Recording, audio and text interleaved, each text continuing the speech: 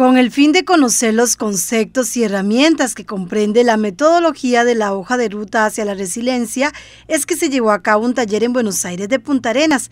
Esta actividad se desarrolló con la participación de todos los comités auxiliares de la región 8, zona sur. Desde 2014, en una reunión mundial de la Cruz Roja, eh, se determinó hacer una estrategia en donde nosotros como movimiento queríamos que un billón de personas, o sea, mil millones de personas, este, pudieran trabajar algún tema de resiliencia en el mundo.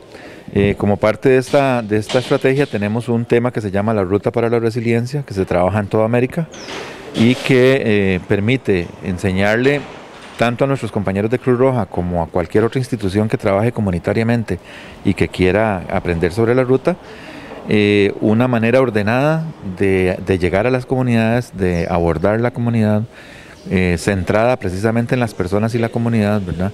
Tratando de hacer que esta comunidad se empodere de sí misma y este, trabaje temas de desarrollo, de gestión de riesgo, todos los temas que nosotros podríamos eh, aportar en, el nivel comunitario. Con estas actividades se espera identificar un conjunto de acciones y actividades que permitan a cada una de las regiones y comités auxiliares de la Cruz Roja costarricense incorporar dentro de su planificación actividades vinculadas a la resiliencia comunitaria. Precisamente la semana pasada estuvimos aquí en, en la región, en el cantón de Buenos Aires, en donde tuvimos a 22 compañeros aquí de la región que estuvieron recibiendo la capacitación de la ruta de la resiliencia.